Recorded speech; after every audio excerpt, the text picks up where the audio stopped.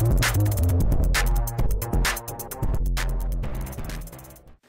guys, this is Inventor214, and so here's my continued progress on the Tony Stark project.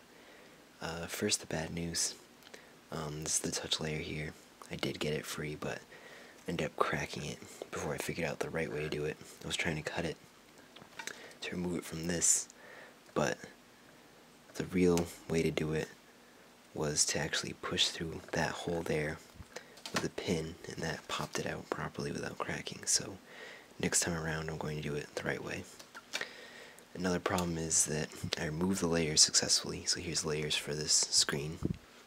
So it is see-through, and it's possible, which is good, but there is a black spot, so I'm going to have to redo that with the next phone up, it's this one, and hopefully do it right.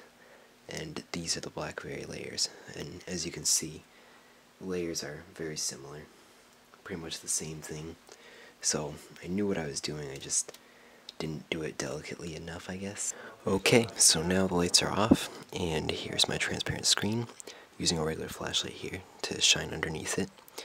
So let's show it here. That's the black spot I was talking about earlier. So it's a slight error, but you can see it's see-through. This plastic piece, you can see it through the screen. So it proves that it's possible, which is really good. Okay, so that's about it.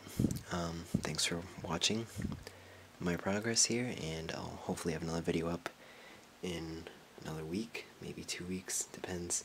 I gotta redo this process right next time, so could be a few weeks. Thank you.